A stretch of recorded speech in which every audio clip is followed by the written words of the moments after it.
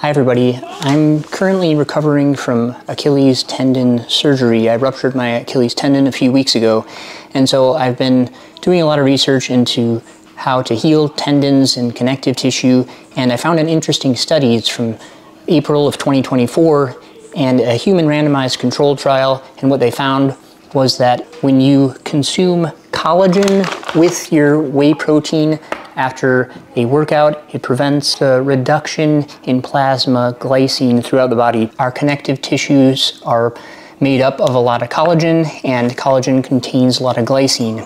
So what I've been doing lately, I like this yogurt. It has a lot of protein in it. Um, Oikos, it has stevia in it, so zero added sugar, zero fat. It's just 15 grams of protein. I usually have two of these. This is my last one. And then I just put in a scoop of collagen powder and I just use my, my spoon here. So I'll just show you what I do.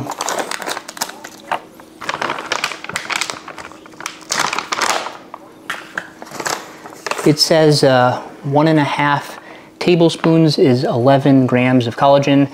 So this may be a tablespoon here. So I think it's safe to say about five grams probably at least. So I have 20 grams of protein, uh, 15 coming from the milk protein and five coming from the collagen. It actually mixes pretty well.